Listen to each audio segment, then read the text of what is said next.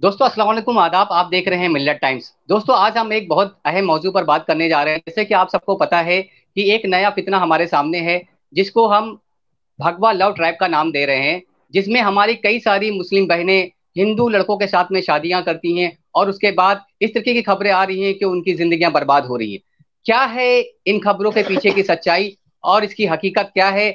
और क्यों हमारी मुस्लिम बहनें गैर मुस्लिम लड़कों के साथ में शादियाँ कर रही हैं? इसी टॉपिक पर आज हम डिस्कशन करेंगे। हमारे साथ में मौजूद हैं उजमा नाहि, ना, उजमा नाहिद साहिबा। आप इकरा इंटरनेशनल एजुकेशन फाउंडेशन की प्रेसिडेंट है। ये एक यूएस बेस्ड फाउंडेशन है। इसके अलावा आप आई आई डब्ल्यू ए ये एक फाउंडेशन है। आप इसकी भी प्रेसिडेंट है।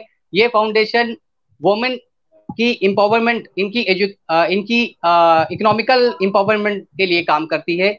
दूसरी हमारी जो गेस्ट है मोहतरमा शबीना खान जी आप एक सोशल वर्कर है। इसके अलावा आप हमारी आवाज़ फाउंडेशन की प्रेसिडेंट हैं। सबसे पहला सवाल मेरा उजमा मैम से है। मैम आप हमें ये बताइए कि इसमें आपको कितनी सच्चाई लगती है? क्या कुछ वाकई में ऐसी ताकतें हैं जो कि मंसूबाबंद तरीके से काम कर रही हैं और हमारी मुस्लिम बहनों को फंसा करके उनको किसी टारगेट के तहत उन पर अपना जाल फेंकती हैं उनको फिर वो उनके साथ शादियाँ करते हैं और उनकी ज़िंदगी बर्बाद करती है। आपको क्या लगता है कि कितनी सच्चाई है इस चीज़ में? नहीं, बिल्कुल सच्चाई है, क्योंकि मैं खातन के साथ ही मुस्तकिल, यानी मेरे दिन के शायद पंद्रह घंटे उनके साथ निकलते हैं। और हर जगह से मैं टच में हूँ। हिंदुस्तान भर में हमारे यूनिट्स हैं और हिंदुस्तान भर की खातन ख़ासतौर से जो खातन के लिए काम कर रही हैं। उन सब खातन से मैं मुसलसल टच में हूँ और ये ख़बरें हर जगह से आ रही हैं कि इस किस्म के वाक़ात हो रहे हैं और ये बहुत तकलीफ़ दे बात है कि बच्चियाँ जो हैं वो इस डायरेक्शन में जा रही हैं और इसमें एक, जो यानी एक यानी रिपोर्ट आती है वो ये कि ये एक बाकायदा कोर्ट में एक लिस्ट लग जाती है जिसमें ये बताया जाता है कि फला फला तारीख को फला फला लड़की, उसका एड्रेस और उसकी सारी डिटेल्स के फला लड़के से शादी करने जा रही है। तो ये हो भी रहा है और इसके तदारुक के लिए कोशिशें भी हो रही हैं, परेशान भी हैं लोग बहुत इस पर कि क्या करें और कोशिशें भी कर रहे हैं जगह तो मैडम आप क्या सोचती हैं कि ये किसी मंसूबाबंद तरीके से कोई ऑर्गेनाइजेशन है कुछ इस तरीके की जो हमारी बहनों को इस तरीके से टारगेट करते हैं उनको फंसाते हैं उस पर उनको कुछ पैसे भी मिलते हैं? या एक सोशल मीडिया क्योंकि आज माशरा काफ़ी चेंज हो सका है हो चुका है हमारी मुस्लिम लड़कियाँ बहनें भी सोशल मीडिया में काफ़ी हद तक फेसबुक वगैरह में गैर मुस्लिम लड़कों के साथ दोस्ती करती हैं या को एजुकेशन भी है उसकी वजह से ऐसा है आपको क्या लगता है? नहीं मतलब ये, मुझे तो बिल्कुल कहने में कोई आड़ नहीं है बिल्कुल बोल्डली कहना चाहिए कि ये आरएसएस की साजिश है, मैं कहूँगी इसको। और ये खुल के वो लोग ऐलान भी कर रहे हैं, कोई छुपी बात तो है नहीं, सारी दुनिया जानती है वो ज़्यादा ऐलान कर रहे हैं कि मुसलमान लड़कियों से शादियाँ करो। और ये मनसूबा बंद तरीके पर ही काम हो रहा है, और उनको टारगेट किया जा रहा है, शायरी सीखी जा रही है। और उनसे ताल्लुकात बढ़ाए जा रहे हैं जिन जिन कॉलेजेस में वो जा रही हैं वहाँ उनसे। और इसमें लड़कियाँ भी नहीं वो लड़कियाँ भी शरीक हैं जो उनकी फ्रेंड्स हैं मुसलमान नहीं हैं लेकिन उनकी फ्रेंड्स हैं वो उनसे इंट्रोड्यूस करा रही हैं लड़कों से इंट्रोड्यूस करा रही हैं। बहुत तकलीफ़ दे चीज़ है जो भी लोग ये कर रहे हैं वो आ, मतलब आ, नहीं सोच रहे हैं इस, इस चीज़ को कि इन चीज़ों के रिज़ल्ट क्या आएँगे। वो ना ये ऐसा नहीं है कि ये मतलब मुसलमान बच्चियों के लिए ही गलत है, सब उस, सबके लिए गलत है, उनके लिए भी गलत है ये। क्योंकि एक पूरी कौम जो है अपना इमेज क्या बिल्ड कर रही है और किस किस्म की वो यानी मैसेज दे रही है दुनिया की कौमों को कि हिंदुस्तान में क्या हो रहा है। अरे भाई, ये एक दौर है कि जिसमें हर शख्स जो है वो एजुकेटेड है, पढ़ा लिखा है। डिसीज़न मेकर है, उसकी अपनी राय है, उसकी अहमियत है। अगर आप इस तरह बहला फुसला के किसी कौम को टारगेट कर रहे हैं तो ये चीज़ छुपी नहीं रहती है। ये चीज़ सारी दुनिया समझ रही है कि आप क्या कर रहे हैं। और इससे पूरे मुल्क का नाम बदनाम हो रहा है। ये कोई सिर्फ़ मुसलमान की बात नहीं है। जब भी देखिए इस किस्म की साजिशें हुई हैं, उस मुल्क को जो है वो सारी दुनिया से ये सहना पड़ा। जैसे 2000 2000 से लेके 2003 तक जो है वो अमेरिका का एक प्लान था कि Muslim women living under the sharia law ये उनका एक टारगेट प्लान था जिसमें वो गली गली कूचे कूचे पहुँचे थे और उसमें शरिया के बारे में उन्होंने मिस इन्फॉर्मेशन देनी शुरू की खातन को। और ये ये ये मतलब हमने उसको फेस नहीं किया, बल्कि उसको टारगेट किया। हमने उसको जवाब दिया उन बातों का। राइटिंग में दिया, उन पर किताबें लिखी, उनको भेजी। तो ये ये कोशिशें जो हो रही हैं, ये कोई खाली जिल्लत नहीं है। और लेकिन बड़ी बचकाना बड़ी बचकाना कोशिश है। बड़ी बचकाना कोशिश है, क्योंकि इसके कोई दूर रस नतज जो है, वो मतलब जिस तरह से मतलब मुसलमान सोच रहे हैं ज़ाहिर है कि मुसलमान लड़कियों के लिए मुस्लिम खानदानों के लिए यकीनन एक तकलीफ़ दे चीज़ है लेकिन सबके लिए है अगर वो वो बदनामी मोल रहे ले रहे हैं आ, अभी मैं आता हूँ सबीना खान जी के पास में। आ, सबीना जी जैसे कि अभी मैम ने बताया कि इसके पीछे कुछ साजिशें भी चल रही हैं और कुछ ऑर्गेनाइजेशंस जो हैं जो मुसलमानों को हमेशा टारगेट करते रहते हैं वो इसके पीछे काम कर रहे हैं। आप हमें ये बताइए कि इसके अलावा भी क्या कुछ और रीजन हो सकते हैं जिसकी वजह से हमारी मुस्लिम बहनें गैर मुस्लिम लड़कों के साथ में जा रही हैं? हालाँकि मुस्लिम लड़के हैं वो अगर चाहें तो उनके साथ भी निकाह कर सकती हैं लेकिन फिर भी वो गैर मुस्लिम लड़कों की तरफ़ क्यों अट्रैक्ट हो रही है? उसका क्या वजह है? आपको क्या लगता है? देखिए जो मैंने खुद देखा है और मैं वो आपको ये बताना चाहती हूँ वो एक्सपीरियंस हुआ है कि आ, कई सारे व्हाट्सएप मैसेजेस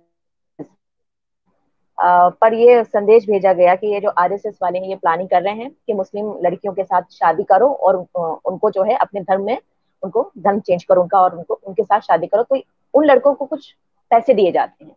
कुछ ऐसा मामला सामने आया भी था और कुछ देखा भी है मैंने ऐसा। अच्छा क्या होता है? कुछ मामलों में ये होता है कि लड़के मुस्लिम नाम चेंज करके उन लड़कियों को बेवकूफ़ बना के शादी तो कर लेते हैं, लेकिन बाद में खुलता है कि वो मुस्लिम लड़का नहीं है। वो हिंदू लड़का है जिससे शादी कर लिया शादी तो हो चुकी होती है। अब और तीसरी वजह यह है कि लोग मानते हैं कि आजकल का जमाना मॉडर्न हो चुका है। मॉडर्न हो चुका है तो लड़कियाँ किसी से भी दोस्ती कर सकती हैं, किसी से भी दोस्ती करें, किसी लड़के के साथ घूमें, फिरें, दोस्त बनाए, चाहे वो लड़का हिंदू है या मुस्लिम है, एक तरह से ये माना जाता है या उनके घर वालों की तरफ़ से भी कहा जाता है कि मॉडर्न जमाना है, भाई, लड़की के दोस्त हैं। लेकिन उनको ये नहीं पता कि उसके पीछे कोई साजिश भी चल रही होती है या उनकी लड़की को ट्रैप किया जा सकता है, इस तरीके से ये नहीं पता, उससे अनजान है। तीसरी बात, कुछ वजह ये भी है। हमारे माशरे में जो आज की डेट में दहेज एक लानत है, दहेज को बहुत ज़्यादा बढ़ावा, बहुत बढ़ा चढ़ा के पेश किया जाता है। दहेज इतना ज़्यादा मांगा जाता है या दिया जाता है खुद के लड़की के जो वालदेन होते हैं या नहीं दे पाते हैं या वो लड़की की शादी नहीं नहीं हो पाती ऐसे लोगों से, ऐसे लड़कों से जो बहुत ज़्यादा दहेज की डिमांड रखते हैं। वो उसी में शादी करते हैं जो लड़की पैसे वाली होती है या बहुत, मैंने देखा है अभी सोशल मीडिया पे भी वायरल हुआ था, एक दहेज, एक शादी हुई थी कहीं तो उसमें उन्होंने बकायदा बैनर लगाया हुआ था। बैनर में लिखा हुआ था, इतने गज का प्लॉट और गाड़ी और इतने, इतना सोना हम जो है दे रहे हैं लड़के वालों को। तो इस तरीके से अगर हमारे यहाँ शरीयत में शादी नहीं हो रही है। दहेज को बढ़ावा दे रहे हैं। इस तरीके से अब इस वजह से हमारी मुस्लिम लड़कियों की शादी नहीं हो रही है। कई गरीब बच्चियाँ हैं, जो उठ नहीं पाती हैं तो क्या करेंगे? कोई फिर ऐसे ही लड़कों के जाल में फंस जाएँगे, ट्रैप हो जाएँगे। देखिए, ज़िंदगी भर तो लड़कियों को घर में बिठा के नहीं रह सकते ना। अब लड़की की उम्र ज़्यादा हो जाएगी तो ऐसे ही किसी जाल में लड़के के फंस जाएगी। तो इस तरीके से हमारे माशरे में भी बहुत सारी गलतियाँ हैं, जो दहेज को बढ़ावा दे रहे हैं। आप दहेज मत लीजिए। आप ऐसे शादी कीजिए शरीयत के तौर पे सिर्फ़ लड़की से निकाह कीजिए सिंपल। लेकिन ऐसा नहीं होता। कोई भी गरीब लड़की हो चाहे जितनी भी अच्छी हो खूबसूरत हो लेकिन अगर वो गरीब है तो उसके यहाँ शादी जल्दी कोई नहीं करता। ये हकीकत है ये जो मैं बता रही हूँ। अब क्या है अगर हिंदू लड़के हिंदू लड़के अगर शादी कर भी रहे हैं तो उनको दहेज नहीं चाहिए। उनका तो एक मंसूबा है कि लड़की से शादी हो जाए लड़की को मुस्लिम हिंदू बना दिया जाए। समझे? उनका धर्म चेंज कर दिया जाए उनको दहेज की ज़रूरत नहीं है। लेकिन अपने माशरे में दहेज एक सबसे बड़ी लानत है जिसकी वजह से ये कुछ परेशानियाँ उजागर हो रही हैं। जी बहुत बहुत शुक्रिया। आ, उस्मा जी जैसे कि सबीना जी ने बताया कि जहेज की वजह से भी ये सारी प्रॉब्लम्स आ रही है और हम अक्सर देखते भी हैं हमारे माशरे में कि हमारे मुस्लिम समाज में जो गरीब बाप होता है उसकी उम्र निकल जाती है कमाते कमाते वो बूढ़ा हो जाता है। इसी जहेज को ही जुट, जुटाने के चक्कर में उसकी बेटी भी जवान हो जाती है। तो इस तरीके से मामला भी हमारे सामने आते हैं जिसकी वजह से लड़कियाँ डाइवर्ट हो रही हैं और वो कुछ ऐसा रास्ता निकालना चाहती है जहाँ बिना जहेज का उनका निकाह हो जाए वो अपनी ज़िंदगी को आगे लीड कर सके। आपको क्या लगता है मैम कि जहेज भी इसका एक रीजन है कि मुस्लिम लड़कियाँ और गैर मुस्लिमों की तरफ़ जा रही नहीं नहीं मुझे मुझे ये लगता है कि ये काफ़ी मेच्योर बात है। और ये जिस उम्र की लड़कियाँ जा रही हैं इनकी उम्र 16 और 18 और बहुत कम उम्र है इनकी। ये उस उस एज तक पहुँची नहीं है कि जब इन्हें ये फ़िक्र हो कि मेरा बाप क्या देगा और क्या नहीं देगा। और ये जो हो रहा है इसमें आ, मुझे जो महसूस होता है वो ये है कि नंबर एक के हम हमारे यहाँ जो जैसे लोग अभी कई मैंने वेबिनार अटेंड किए तो उसमें लोग कह रहे हैं कि दीनी तालीम नहीं है। दीनी तालीम तो है, दीनी तालीम के सोर्सेज बहुत सारे हैं। लेकिन एक होता है कि आप वक्त के लिहाज से और उम्र के लिहाज से, बच्ची के लिहाज से किस किस तरह तालीम दे रहे हैं। वो नहीं हो रहा है। हमारे यहाँ एक सिस्टम ऑफ़ एजुकेशन जो है, उसकी कमी है। जैसे तरीका तालीम होता है, एक उसकी कमी हो रही है और एक इसकी कमी है। कि बच्चे का इंटरेस्ट डेवलप करें। आज मैं आपको एक मिसाल ये दूँगी कि बहुत सारी बच्चियाँ गैर मुस्लिम जो हैं, वो इस्लाम में दाखिल हो रही हैं। लेकिन वो मेच्योर हैं और वो इंटेंशन से आ रही हैं और वो शादी के लिए नहीं है शादी के लिए नहीं आ रही है। वो आने के बाद डिसाइड करती हैं कि अब हमें अब हमें शादी करनी है। और ये लड़कियाँ जो हैं, ये इंजीनियर्स हैं डॉक्टर्स हैं, इस तरह की लड़कियाँ हैं। तो ये उनका सेल्फ डिसीज़न है। यहाँ पर सेल्फ डिसीज़न नहीं है। ये बहकावे में आई हैं। लेकिन इसमें एक कमी जो हमारी सोसाइटी की तरफ़ से हो रही है, वो ये है कि हमने दीनी तालीम यानी बाकायदा बच्ची को पहुंचाई नहीं है। बाकायदा का मतलब ये है कि बच्ची को अगर अपने राइट्स अपने हकूक, ये सारे पता हों तो बच्ची कभी भी नहीं जाएगी। इस्लाम में खुद इतना अट्रैक्शन है, इतनी जज्बियत है इस्लाम के अंदर कि कभी सवाल ही पैदा नहीं होता कि वो जाए। यानी तोहीद का जैसा कॉन्सेप्ट जो है कि तोहीद अल्लाह की अल्लाह की वैदानियत का जो आ, कहना चाहिए कि एक चाम है एक अट्रैक्शन है वो इतना बड़ा है कि सवाल ही पैदा नहीं होता कि मुसलमान लड़की जो है वो किसी और तरफ़ चली जाए। इसका मतलब है कि उसके जहन को कोई मेचोरिटी दी नहीं दी नहीं गई है। आज मैं बहुत सारी बच्चियाँ खुद मेरी बेटी जो बाहर गई बाहर पढ़ा उसने लेकिन जब वो गई थी तो यहाँ से सिर्फ़ स्कार्फ पहनती थी। लेकिन वहाँ से आई तो पूरा हिजाब पहनने लगी, क्योंकि उसने दुनिया की तारीख पढ़ी, दुनिया की तारीख पढ़ी और दुनिया को समझा उसने और इसने, उसको ये अंदाज़ा हुआ कि मुसलमानों को कहाँ से कहाँ ला के पटक दिया गया 200 साल के अंदर। और अब जो है बच्चों के अंदर ये चीज़ आती है, जो बाहर जाते हैं उनके अंदर ये चीज़ आती है कि हमको वो वापस लाना है, इस्लामी तारीख को इंट्रोड्यूस कराना है, इस्लाम को प्रैक्टिस करना है, और इतनी, यानी कहना चाहिए, दिल से प्रैक्टिस करते हैं पूरी जज्बे के साथ कि नमाजों में भी पूरे तकवा होता है, हर मामले में तकवा होता है। तो यहाँ पर मुझे महसूस होता है कि एक तो माँ बाप की ये बहुत बड़ी कोताही है कि अगर वो बच्चों को सिर्फ़ नमाज़, रोजा और उसके लिए तलकीन करते हैं तो वो तलकीन जो है वो एक यानी एक मैकेनिकल स्टाइल है। उसके दिल में नहीं उतारा है, उसके दिल और दिमाग को कायल नहीं किया है।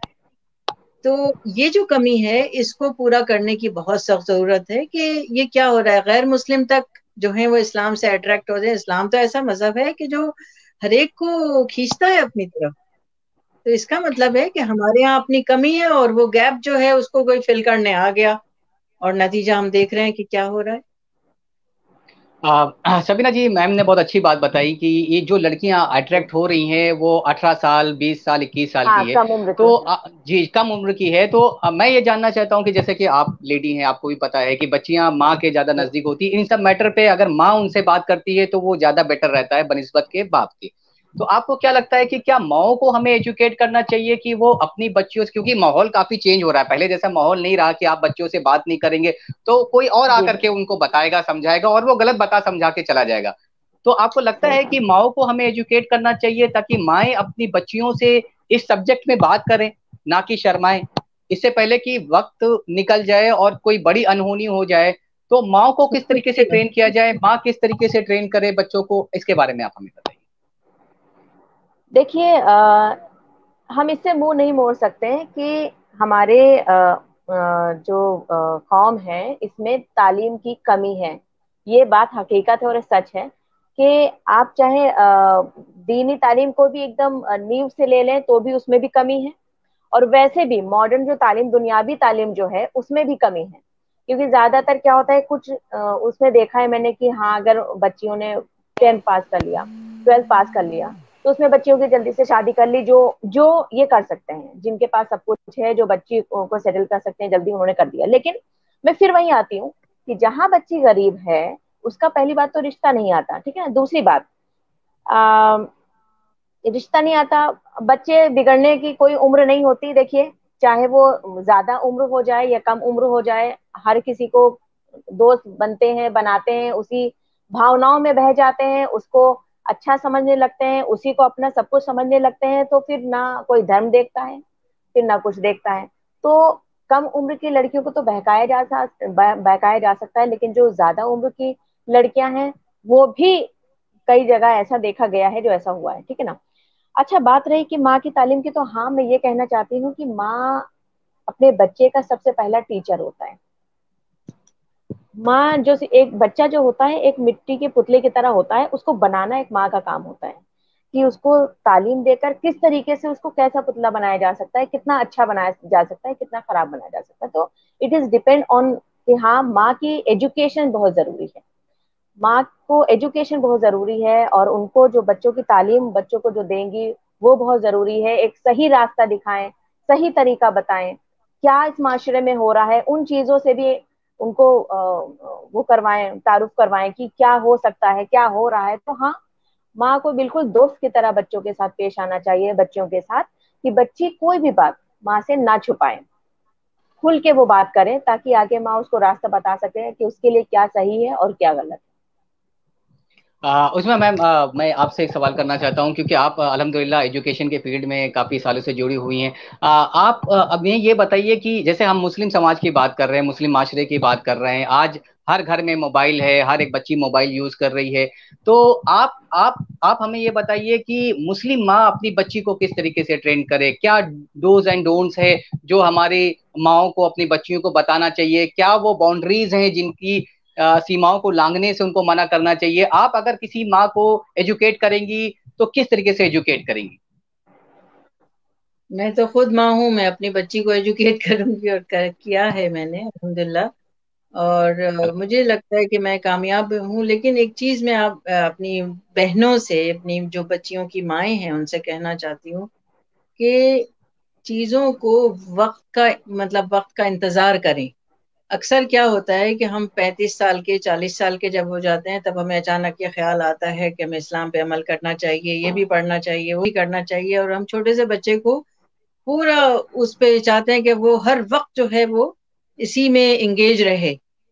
और तो ये मुमकिन नहीं है। बच्चा जो है अपनी उम्र से सोचता है। आप उसको वक्त वक्त के साथ, यानी एक तो एक अमल खुद करके बताएँ, ना कि तलकीन करें। होता क्या है कि घर में बाप है आ, कोई आए दरवाजे पे तो कह दिया कि साहब कह दो कि मैं नहीं हूँ। तो बच्चे ने तो ये सीखा कि झूठ बोला जा सकता है। ये भी आ, मतलब इजाज़त है इसकी। आ, ये चीज़ है। दूसरी चीज़ ये कि हर बात कहने की नहीं होती एक तो अमल है और दूसरी चीज़ मैं हमेशा ये सजेस्ट करती हूँ कि भाई कुछ चीज़ें ऐसी होती हैं कि जैसे आपने फ्रिज के ऊपर एक हदीस लगा दी। आपने तीन दिन उस हदीस को लगा खानदान का हर फर्द पढ़ रहा है उसको वो याद हो गई। आप इस तरह करते रहिए तो बच्चा ज़रूर पढ़ेगा उसे बच्चा ज़रूर देखेगा उसे। मुख्तलिफ़ तरीके होते हैं। कभी कोई महफिल इस तरह की कर ली कि जिसके अंदर कोई दीनी बातें जैसे आ, कई जगह हम देखते हैं कि किटी पार्टीज़ औरतों की होती थी तो उसको मुशर्रफ इस्लाम किया कि वो उसमें किसी आ, दीनी खातून को बुला के उनका पहले लेक्चर रखवा दिया और उसके बाद वो पार्टी भी हो गई। जो घरों से बना के लाई हैं तो ये ज़रूरी नहीं होता कि इस तरह। इसी तरह जो हमारे यहाँ इज्तम वगैरह होते हैं, बच्चियों को तलकीन करती हैं, माएँ के वहाँ जाओ। लेकिन उन इज्तम में कभी भी औरत के रोल का ज़िक्र नहीं होता, औरत के राइट्स का ज़िक्र नहीं होता, औरत का स्टेटस इस्लाम में क्या है। अब एक तारीख ये है कि डॉक्टर अकरम नदवी जो ऑक्सफोर्ड यूनिवर्सिटी के हेड ऑफ़ द डिपार्टमेंट है, इस्लामिक स्टडीज़ के, उन्होंने किताब लिखी मुहदसात चालीस जिल्दों में वो मुहदसात पर किताब आई, यानी विमेन इंटरप्रेटर्स ऑफ़ हदीस हदीस की रावी मुसलमान औरतें। और कितनी थी? आठ साल के अंदर उन्होंने दस हज़ार मुहदसात फाइंड आउट की। और वो ये लिखते हैं कि इन औरतों में कोई एक भी ऐसी नहीं थी कि जिन्होंने ज़िंदगी में एक भी बार झूठ बोला हो। और इनका कंट्रीब्यूशन क्या था कि ये बाजारों को भी संभाल रही थी, ये इल्मी काम भी कर रही थी, ये फ़किया भी थी, ये मुफसरा भी थी, ये मुहदसा भी थी। तो हमने अपनी बच्चियों के लिए टारगेट क्या फिक्स किया? हमने उन्हें मिशन क्या दिया? ये तो बचपन से तय होना चाहिए ना। छोटा सा बच्चा जो है, उससे मालूम हो जाता है कि इसका जहन क्या है बच्चे का। ये किस तरफ़ जाना चाहता है या चाहती है? तो हमारी पूरी कौम में ये मिजाज नहीं है कि हम उसे कोई मिशन दें लाइफ का। अगर हमने कोई टारगेट फिक्स किया कि तुम्हें बेटा ये बनना है, माँ और बाप कोई भी हो, उनका एक एक लफ्ज बच्चे के दिमाग में जा रहा होता है, बचपन से। और जो वो खुद होते हैं, वो बनना चाहता है बच्चा। वो खुद ही अगर बेइल्म है तो बच्चा भी बेइल्म बनेगा। खुद गालियाँ दे रहे हैं तो बच्चा गालियाँ देने वाला बनेगा। लेकिन अगर माँ बाप अक्सर देखा है कि बेपढ़े लिखे माँ बाप भी जहनी तौर पर, फिक्री तौर पर मेच्योर होते हैं। वो अगर मेच्योर है तो बच्चों के अंदर वो बलूगियत आएगी। उस बलूगियत की ज़रूरत है हमें कि हम वो बलूगियत पैदा करें कि तुम्हारी ज़िंदगी कोई आम ज़िंदगी नहीं है। तुम दुनिया में आखिरी उम्मत हो। तुम रसोल्ला वसल्लम के पैगाम को आम करने आए हो तो तुम्हारी ज़िंदगी का हर शख्स का एक मिशन होना चाहिए, चाहे वो औरत हो या मर्द हो। तो ये मिशन जो है, ये बताना बहुत ज़रूरी है। हमारे जलसे और जुलूस, इन चीज़ों पे तो बहुत पैसे खर्च होते हैं, करोड़ों रुपए खर्च होते हैं। दूसरी चीज़ जो है, वो ये कि हम कभी नफ्सियात नहीं समझते। नफ्सियात का मतलब ये है कि इस वक्त जो ट्रेंड चल रहा है, कई लोगों के मैंने आवाज़ सुने इस, इसी मसले पर, और वो कह रहे हैं कि लड़कियों के हाथ से मोबाइल छीन लिए जाएँ, उनका भाई जो है वो उनके कॉलेज तक साथ जाए। अरे, ये बेतबारी, ये शक की फिजा आप पैदा करेंगे तो इससे कोई इसलाह होगी? इससे कोई मजबत नतज निकलेंगे? वो भी बड़ी बच्ची है, वो अपने आप को, आज का बच्चा अपने आप को मेच्योर समझता है। तो नतीजा खेजी के लिए दूररस नतज पर काम करना, दूरअंदेशी के साथ काम करना ज़रूरी है। बहुत पोलाइट होके, बहुत इनकेसारी के साथ अब माँ बाप के लिए वही दौर है कि वो बच्चों को अपने ऐसे पालें कि जिससे वो उनकी एक ईगो हर्ट नहीं हो, उनकी दिलचस्पी आप देखें कि किस फ़ील्ड में है। इस्लाम तो ऐसा मज़हब है कि आप उसके हाथ में आईना थमा दें। अगर वो इकोनॉमी में जाना चाहता है तो वो उस आईने में देखना शुरू कर दे कि इस्लाम क्या कहता है इस बारे में, दुनिया की इकोनॉमी क्या कह रही है। अखलाकी मामला हैं, उसमें देख, इतना वास्ट है, इतना वास्ट है कि कोई हद नहीं है उसकी। हर बच्चे को एक नया मिशन दे सकते हैं। और तारीख जो है, हमारे स्कूलों में नहीं तारीख पढ़ाई जाती। इस्लाम के पूरे दौर में, हर दौर में जो इंटरनेशनल तारीख पढ़ाई गई, मुसलमानों को जो वसीउल फिक्री मिली है, और ये जहानत जो मिली है, ये इस बुनियाद पे मिली है कि उसने दुनिया की तारीख पढ़ी, दुनिया की कौमों को समझा। इसलिए तो सारे दुनिया में फैल गए वो लोग। अब हमारे यहाँ स्कूलों में सिर्फ़ हिंदुस्तान की तारीख पढ़ाई जा रही है। खुद मुसलमानों को इसकी तोफीक नहीं कि वो इस्लाम की तारीख पढ़ाए इस्लाम के कारनामे गिनाए। तो जब ये सब ये पता चल है तब कदर होगी ना उनको दीन की। सिर्फ़ नमाजें सिखा देना और रोज़े रखवा लेना ये काफ़ी नहीं है। तो मैम ये बोलना चाहती हैं कि माओ को सिर्फ़ दीन यही नहीं है कि उनके रोज़े नमाज़ की हम उनको तालीम दें बल्कि माओ को भी चाहिए कि वो तारीख के बारे में बताए और किस तरीके से उनको बच्चियों के साथ में फ्रेंडली होकर के उनको उनसे इस्लाम क्या चाहता है वो भी हम उनको सिखाएँ और बताएँ। सबीना जी आजकल हम सोशल मीडिया में देख रहे हैं कि बहुत ज़्यादा जा, ही लोग इस मुद्दे पर बात कर रहे हैं और करना भी चाहिए क्योंकि ये हमारी बहनों का और हमारी बेटियों का मामला है। हमारे लोगों को इसके बारे में बात करना चाहिए, लेकिन इसके सोल्यूशन पे भी बात करनी चाहिए, जो जिसके लिए आज हमने ये पैनल डिस्कशन रखा है। और अलहमदिल्ला उजमा मैम ने भी बहुत अच्छे पॉइंट्स रखे, आपने भी रखे। आप मुझे ये बताइए कि जैसे आपने जहेज को लेकर के पॉइंट आउट किया, आपने बताया कि जहेज भी उसका एक रीजन है। आप ऐसे नौजवानों को क्या बोलना चाहते हैं, जो कि सोशल मीडिया पे बहुत एक्टिव हैं, बहुत सीरियसली इस इशू को उठा रहे हैं और अपनी बहनों को अपील कर रहे हैं कि आप इस तरीके से गैर मुस्लिम लड़कों की तरफ़ मत अट्रैक्ट होइए, ये आपकी जिंदगियाँ बर्बाद कर देंगे। लेकिन कोई इन नौजवानों से भी तो पूछे कि इनकी भी तो कोई ज़िम्मेदारी बनती है। हमारे जैसे नौजवानों से भी पूछे कि हमारी भी कोई ज़िम्मेदारी बनती है कि हम क्या रो सिर्फ़ सोशल मीडिया पर हौहल्ला मचाने से तो सोल्यूशन नहीं निकलेगा। यही हमारे भाई होते हैं जो कि पाँच पाँच लाख दस दस लाख रुपए में बिकते हैं। और इनकी वजह से ही कोई मुस्लिम लड़की घर पे बैठी रहती है। तो ऐसे नौजवानों को आप क्या बोलना चाहती है? देखिए, नौजवान तो है ही। उनको एक ये होता है कि उनको गाड़ी मिलनी चाहिए और इतना दहेज हो कि वाह वाही हो, लोग देखें तो उनमें बहुत वाह वाही है। तो आजकल ये वाह वाही का जमाना बहुत हो गया है। और नौजवान के अलावा सबसे ज़्यादा तो मैं उनके माँ बाप को बोलना चाहती हूँ, उनके खानदान को बोलना चाहती हूँ कि उन लोगों को बहुत ज़्यादा दौलत की हवस दहेज की हवस की भाई दहेज ले कुछ कौम कुछ कौम ऐसी भी है हमारे माशरे में कि जो दहेज के नाम पे जानी जाती है। दहेज लेती भी बहुत है और दहेज देती भी बहुत है। ये मैं आपको हकीकत बता रही हूँ। आप सुन रहे हैं? जी जी आपकी आवाज़ आ रही है। बोलिए। जी ये मैं आपको हकीकत बता रही हूँ। तो वही मैं कह रही हूँ कि नौजवानों को भी ये है कि हमें दहेज ज़्यादा मिलना चाहिए। उनके घर वालों को भी कि ऐसी लड़की से शादी करेंगे, जो दहेज सबसे ज़्यादा दे, उनकी वाह वाह पूरे खानदान में बहुत ज़्यादा हो। ठीक है ना? ये हो गया। और दूसरा मैं ये कहना चाहती हूँ कि शरीयत में शादी क्यों नहीं की जाती है?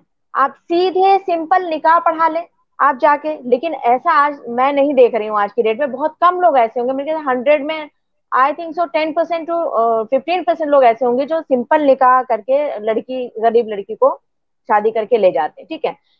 तीसरी बात, अगर इन बुराइयों को रोकना है तो जो मौलवी साहब जाते हैं निकाह पढ़ाने, उनको थोड़ा दुरुस्त होना पड़ेगा इसलिए कि जहाँ दहेज का मामला है, बैंड बाज बैंड बाजा हो रहा है, नाच गाना हो रहा है, वहाँ पे वो निकाह पढ़ाने से इनकार कर दें। और वो बोले कि भैया, सिंपल और शरीयत के हिसाब से हम ये काम करेंगे। इस तरीके की वाह वाहवाही, शोर शराबा और ये दिखावा नहीं चलेगा। अगर सिंपल कोई निकाह करा, करता है सादगी से तो ही हम निकाह पढ़ाएँगे। ये सभी मौलवी ऐसा रख दें और ऐसा ही करें। तो देख लीजिए, बहुत जल्द ये जो बुराई है, दहेज की, जल्द से जल्द खत्म हो जाएगी। उजमा जी बहुत बहुत शुक्रिया। शायद मैम से हमारा कनेक्शन टूट चुका है वो अभी नेटवर्क में नहीं है। आ, हमारे साथ जुड़ने के लिए बहुत बहुत शुक्रिया। तो ये थी आ, उजमा नाहिद साहिबा और सबीना खान जी जिससे जिनसे हमने डिस्कस किया। मैम मैम से हमारा संपर्क हो चुका है। मैम एक लास्ट सवाल मैं आपसे करना चाहता हूँ। उलमा इक्राम का क्या रोल है इस तनाजे इस कॉन्फ्लिक्ट को लेकर के जो अभी हमारे माशरे में है? इकराम को किस तरीके से रोल अदा करना पड़ेगा? जैसे कि सबीना जी ने बताया कि कुछ हमारे मुफ्ती हजरात होते हैं, वो वो ऐसी ऐसी जगहों पर जाकर के निकाह पढ़ाते हैं जहाँ पर जहेज ले दिया जा रहा होता है बैंड बाजे वगैरह भी होती है। जबकि कुछ ऐसे माशरे में हमारे गाँव हैं जहाँ पर पूरा का पूरा गाँव जहेज की लानत से बचा हुआ है, क्योंकि वहाँ पर जो उलमा इकराम है, वहाँ पर जो दीनी खुतबे वगैरह होते हैं और जुमे के खुतबे होते हैं, उनमें बाकायदा इस तरीके के ऐलान होते हैं इस टॉपिक पे खुतबे दिए जाते हैं कि सही वक्त में लड़कियों का निकाह किया जाए, बिना जहेज के निकाह किया जाए तो वहाँ पर ये लानती चीज़ें नहीं है। आपको क्या लगता है कि उलमा इकराम को कोई सख्त स्टैंड लेना चाहिए ताकि ये जो गैर मुस्लिम के साथ हमारी लड़कियाँ जा रही हो ताकि वक्त पर इनकी शादी हो सके, जहेज की वजह से कोई लड़की इस तरीके से फोर्स ना हो गैर मुस्लिम के साथ जाने के लिए, या फिर कम उम्र में भी हमारी इस तरीके के इस्तेम हों, इस तरीके के लेक्चर्स हों हमारी मुस्लिम बहनों के सामने ताकि वो समझ सके कि नहीं, ये सही काम नहीं है, उसके बाद ना तो ये दुनिया के लिए अच्छा काम है, ना कि आखिरत के लिए और उससे बच सके। असल में ये ये मामला जो है ओवरनाइट का नहीं है, ये अचानक नहीं हो गया है। वो उनकी प्लानिंग कुछ भी हो, कब से हो लेकिन हम अपनी सोसाइटी को पहले देखें कि हमारी सोसाइटी में जो है वो औरत की एक जो इस्लाम ने कदर दी है, इज़्ज़त दी है, वो नहीं मिल रही है। और जिस तरह से आज मैं देख रही हूँ कि जितने भी काउंसलिंग सेंटर हैं, दारुल कज़ाएँ हैं, उनके काउंसलिंग सेंटर हैं, हर एक का ध्यान इसी पर है कि लड़कियों की काउंसलिंग की जाए, लड़कियों की काउंसलिंग की जाए। लेकिन लड़कियाँ ये स्टेप जो है वो किसी के बहकाए में ले रही हैं या ये कि वो बरगश्ता हैं अपनी कम्युनिटी से या उनको मैच नहीं मिल रहे हैं? तो लड़कों की भी तो काउंसलिंग होनी चाहिए। ये क्यों नहीं कोई सोचता है कि भाई लड़कों की भी काउंसलिंग हो? दूसरा ये कि हमारी सोसाइटी के अंदर जो औरत के साथ हो रहा है जो उसके साथ नाइंसाफी हो रही है वो कतई तौर पर गैर इस्लामी है। तो इन चीज़ों को बहुत लाइट लिया गया। मैं आपसे 25 साल पहले की बात कह रही हूँ कि कुछ हजरात से मैंने ज़िक्र किया तो उन्होंने कहा कि ये मामले अभी हमारे मौजू नहीं है। ये मामले अभी मौजू नहीं है, अभी दूसरे मामले बहुत इंपॉर्टेंट हैं जो हमें देखने हैं। तो ये मामले या तो आए नहीं करने उन्हें। हम लोग तो इस पर पैंतीस साल से आवाज़ उठा रहे हैं, कह रहे हैं कि भाई ये अगर ये नहीं किया गया तो इसके नतज क्या आएँगे? हम तो उस वक्त से कह रहे हैं नाइन्टी फोर से कह रही हूँ मैं ये बातें। कि ये ये चीज़ें जो है, ये गलत है, ये इस्लामी सोसाइटी है ही नहीं। और हम यहाँ पर जो प्रैक्टिस करते हैं, वो यानी जैसे अरब अरब सोसाइटी होगी कभी तो अरब में लड़कियों को बचपन से हाई स्कूल तक मुकम्मल दीन पढ़ाया जाता है, पूरा फिका पढ़ाया जाता है तो वो अपनी राइट से पूरी तरह आगा है तो अगर कोई उसके साथ नाइंसाफी करता है तो वो लड़ जाती है। लेकिन यहाँ पर दूसरी कौमों के असरात आए हैं हमारे ऊपर। जो पेट्रियाकल सिस्टम है, वो आया है कि हम लोग जो है दब्बू और कहना चाहिए कि बिल्कुल बेजुबान और गैर गैर ज़रूरी चीज़ों पर सब्र करना हमको सिखाया जाता है। तो उसका नतीजा जो निकलता है, वो इस तरह से निकलता है कि वो एक बगावत वाला मादा आ जाता है। अब ये इसको चाहे या अनचाहे कहें, लेकिन मैं इसको महसूस करती हूँ कि ये कहीं ना कहीं जैसे माँ की माँ की हालत को देख रही है बच्ची उससे वो बगावत उसके जहन में पनपती रही और उसको जैसे ही मौका मिला, वो उसने फरार इख्तियार कर ली। तो इस इस सोसाइटी को ये हम लोगों का सबका एक सोचा समझा प्लान होना चाहिए कि हमको किस तरह से इनको एड्रेस करना जैसे मैंने कहा कि भाई, मर्दों की भी काउंसलिंग होनी चाहिए। मर्दों को बताया जाए कि भाई, जहेज की बात आप कह रही हैं, ये बहुत अच्छी बात है, बहुत ज़रूरी है। और ये शादी के बाद तक चलता रहता है। कि भाई ये लेके आओ वरना हाँ। तुम्हारे हुकूक नहीं दिए जाएँगे बच्चा भी अगर बच्चा भी अगर हो जाता है तो भी घर वालों से वो जाता है सामान जाता है सारा बच्चे का ये वो तो मतलब वो अपनी ज़िम्मेदारी नहीं समझते वो लोग तो सब और, कुछ और, जैसे और, लड़की के घर वाले पे डाल देते हैं कि हाँ भाई उनका फ़र्ज़ बनता है उनका फ़र्ज़ बनता है होने के बाद में जी हाँ। अब दूसरी दूसरा जो एक पॉइंट है इसमें वो ये है कि 2018 का एक सर्वे है कि जिसमें 20 परसेंट हमारे नाबालिग बच्चे बच्चियाँ जो हैं वो टिकटॉक है यूट्यूब है ये है वो है इसको देख रहे हैं। हाँ। इसका इलाज क्या है? देखिए वो तो वो तो नागुजीर चीज़ हो गई जिंदगियों में दाखिल हो गई है। लेकिन आप आप उसका ये इलाज नहीं बता सकते कि बच्चे के हाथ में मोबाइल ना दो। जब वो कॉलेज जा रही है तो मोबाइल ज़रूरी है क्योंकि उसकी खबरगिरी रखें कि वो कहाँ गई है।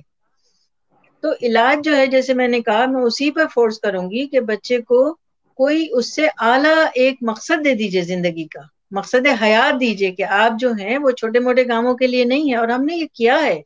हमने बहुत सारे बच्चों की इस तरह से ट्रेनिंग की है। हमने बताया कि भाई आप जो हैं, वो छोटे मोटे कामों के लिए नहीं आए हैं दुनिया में। आपको बहुत बड़ा मिशन तो बच्चा ये समझने लगता है कि मैं बहुत अहम हूँ और ये सब चीज़ें मेरे लिए नहीं तो एक वक्त आता है कि जब वो गाने भी सुनने छोड़ देता है, वो ये गलत चीज़ें, जो उरियानियत की चीज़ें, अबाहियत की चीज़ें, वो सारी चीज़ें जो है, खुद ब खुद एक मेच्योरिटी के साथ छोड़, छोड़ना शुरू करता है। तो इसके लिए हम लोग जो अपने यहाँ मेहनत कर रहे हैं, वो मैं बताना चाहूँगी कि भाई हमारा जो ऑर्गेनाइजेशन है, इकरा के नाम से, उसका एक करिकुलम है नर्सरी टू हाई स्कूल मुकम्मल एक करिकुलम है, वो इस तरह डिज़ाइन किया गया ब्यूटीफुली खूबसूरती के साथ कि बच्चा पढ़ने के बाद उसे खुशी महसूस करता है कि मैं मैं मतलब मुसलमान हूँ। और उससे अल्लाह का रिश्ता जुड़ता है अलैहि वसल्लम से उसकी एक मैंने मोहब्बत बढ़ती है। तो हम उसी पे कोशिश कर रहे हैं और अब मैं खास तौर से बच्चियों के लिए ये कोशिश कर रही हूँ कि वो कोर्स जो है बच्चियों को पढ़ाएँ घर में पहुँच जाए। तो ज़ीरो टू सेवेंटी ईयर्स की कोई भी एज हो वो सब पढ़ें।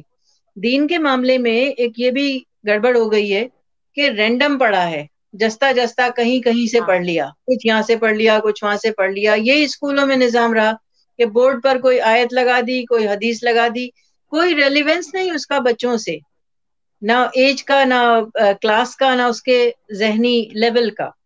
तो हमें सिस्टमेटिक वे में दीन पढ़ाना चाहिए, मुंजबित तरीके पर दीन पढ़ाना चाहिए, ताकि वो शुरू से समझे कि मक्की पीरियड क्या था, मदनी पीरियड क्या था, ये आयतें कब नाजिल हुई थी, क्यों नाजिल हुई थी, उनकी वजह क्या थी, कौन बैठे थे आप वसल्लम के पास। इस्लाम की पूरी तारीख जब पढ़ लेंगे और दीन पढ़ लेंगे तो ये बातें खुद ब खुद खत्म होंगी। मगर ये लॉन्ग टर्म प्लान है हम जो हम जो अपने मसलकों के थ्रू दीन पहुँचा रहे हैं, वो गलत तरीका है, उसे छोड़ देना चाहिए। और अब इस पर आना चाहिए कि अब इल्हाद चैलेंज है हमारे लिए, मसलक चैलेंज नहीं है। इससे निकलना होगा, हमें जमातों से निकलना पड़ेगा। जब तक हम ये कोशिशें नहीं करेंगे, तब तक हम कामयाबी और अल्लाह को नापसंद है। मसलक जो है वो हमारे लिए बतौर रहमत है। एक चीज़ में आपको जवाब नहीं मिल रहा तो दूसरे मसलक में मिल जाएगा तीसरे मसलक में मिल जाएगा। दुनिया के किसी खत्े में हो इस्लाम खामोश नहीं है। अनलाइक अदर रिलीजन दूसरे मजाहिब की तरह इस्लाम खामोश नहीं है।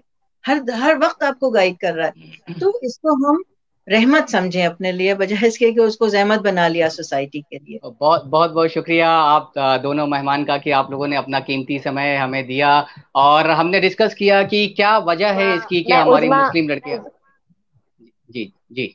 मैं उजमा जी से एक वो पूछना चाहती हूँ। उजमा जी क्या ऐसा हो सकता है कि हमारे उलेमा कराम मैं फिर वही दहेज की बात कर रही हूँ जिसकी वजह से एक लड़की ने जान दे दी थी शादी होने के बावजूद भी नदी में छलांग लगा के जान दे दी थी क्योंकि ऐसे मामले बहुत हैं, बहुत आ रहे हैं हर रोज और इसमें बदनामी भी बहुत होती है कि दहेज की लालच में जो है लोग इतने अंधे हो चुके हैं कि बच्चियों की, उनकी खूबसूरती नहीं दिख रही, उनके दिल की खूबसूरती, उनकी प्यार, उनका मोहब्बत नहीं दिख रहा, उनके माँ बाप के साथ उनका मतलब ये नहीं समझ में आ रहा है कि जिस माँ बाप ने छोटे बच्चे से लेके बड़ा करके और बच्ची की शादी करके तुम्हें दे दिया, लेकिन तुम्हें उस बच्ची की बिल्कुल फ़िक्र नहीं है, वो बच्चियाँ जान दे रही हैं, एक दहेज एक, इसका रीजन है, लेकिन मैं ये जानना चाहती हूँ उसमें जी कि अगर हमारे उलामे कराम शादी में जो जाते हैं और वहाँ पर अगर सिंपल शरीयत के तौर पे शादी के लिए अगर वो कहें, या उनको बोले कि जहाँ दहेज हो रहा है, शोर शराबा, नाच गाना बैंड बाजे ये सब बहुत ज़्यादा हो रहा है, हम वहाँ निकाह नहीं पढ़ाएँगे। अगर ये ऐसा एक वो बना लें तो क्या फ़र्क पड़ेगा? नहीं, बिल्कुल पड़ेगा। कर भी रहे हैं, बहुत से जगह हो भी रहा है, लेकिन मैं आपसे ये कहूँगी कि सिर्फ़ तलकीन करने से मामलात नहीं सुधरते। हमारी कौम क्या कहते हैं फाइनेंशली भी वीक है। जो मांगने वाला है उसकी हाँ। भी एक साइकोलॉजी है कि वो ये समझ रहा है कि भाई यहाँ से पैसा आ जाए वरना कोई इज्जतदार यानी मुसलमान जो है वो तो इस्लाम अगर पूरा पढ़े तो मुसलमान तो बहुत सखी होता है वो तो देता है बांटता है वो थोड़ी लेने वाला होता है। ये तो खुद गलत गैर इस्लामी चीज़ है कि वो मांगे। तो इसमें आ, ये समझना चाहिए कि हमारी कौम की प्रॉब्लम्स और वो इश्यूज़ हैं क्या? जैसे मिसाल के तौर पर मैं जो काम कर रही हूँ वो विमेन इकोनॉमी पे काम कर रही हूँ। इस वक्त मैं इंडस्ट्रीज़ डाल रही हूँ लेडीज़ के लिए। लेडीज़ की इंडस्ट्री जो शरीफ घरान होती हैं कभी जाती नहीं जक़ात भी नहीं लेती। लेकिन मार्केटिंग जो है वो सारे मर्दों के हाथ में दे रही हूँ। मार्केटिंग आप करेंगे प्रोडक्ट ये बनाएँगी। समझ गए? तो दोनों के मसले हल हो रहे हैं। और जब हम ये काम करते हैं, एक एहसान मंदी का मामला आता है, हम लोग गिवर्स होते हैं, हम देने वाले हैं उनको तो वो हमारी बात भी सुनते हैं। तो हम उनको ये तलकीन भी करते हैं कि देखिए, ये चीज़ें जो है, ये छोड़ दीजिए, सोसाइटी से ये खत्म करती है तो वो खुद ब खुद मानते हैं बात। मतलब हम हम जो देखिए, हर हर कम्युनिटी अपनी कौम के लिए काम करती है। हमने काम कितना किया? इकोनॉमी पे कितना काम किया? एजुकेशन पे भी फिर भी हुआ है। लेकिन इकोनॉमी पे कोई काम नहीं। सत्तर साल हो गए हमने अपनी कम्युनिटी को यूँ ही छोड़ा हुआ है। कितने सारे लोग हैं इतने मासूम लोग हैं इतनी एजुकेशन हम्म। मदरसों से जो निकलते हैं इनके इल्मी इस्तेदाद का आपको अंदाज़ा है कि क्या ये दस मिनट कोई ये आरएसएस वाले बैठ नहीं सकते आर्ग्यूमेंट नहीं कर सकते? इतनी इनके साथ इस्तेदाद है। लेकिन फाइनेंशियली वीक है इसलिए खार हो रहे तो मगर ये तबका कभी नहीं माँगता जहेज। उलमा का तबका कभी जहेज नहीं माँगता ये ये जो बच्चे हमारे मदरसों से निकल रहे हैं ये कभी नहीं मांगते तो हमको जो कौम नहीं तो इनकी इनकी संख्या बहुत कम में है। इनकी संख्या बहुत कम में है। सबीना सबीना जी हमारा टाइम हो गया है और ये अच्छा डिबेट अच्छा। काफ़ी लंबा हो जाएगा। जी आ, तो हम मैं आपका बहुत बहुत शुक्रिया अदा करता हूँ। आप लोगों ने अपना कीमती वक्त हमें दिया और इस तनाजे पर हमने बात किया कि क्यों मुस्लिम लड़कियाँ गैर मुस्लिम लड़कों के साथ में जा रही हैं। इसका हमने डिबेट में हमने ये जाना कि हमारे मुस्लिम घरों को दीन के करीब आना पड़ेगा। खास तौर से हमारी मुस्लिम माओ को अपनी बच्चियों से बात करना पड़ेगा। उनको उन्हें बताना पड़ेगा कि दीन क्या है। दीन सिर्फ़ रोजा नमाज़ का नाम नहीं है।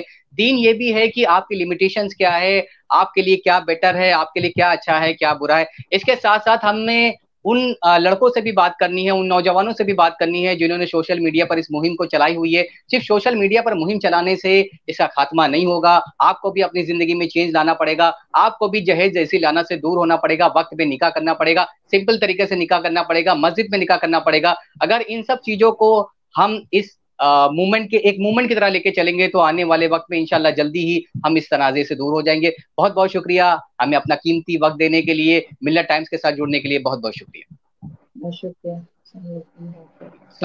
बहुत बहुत शुक्रिया जजाकल्ला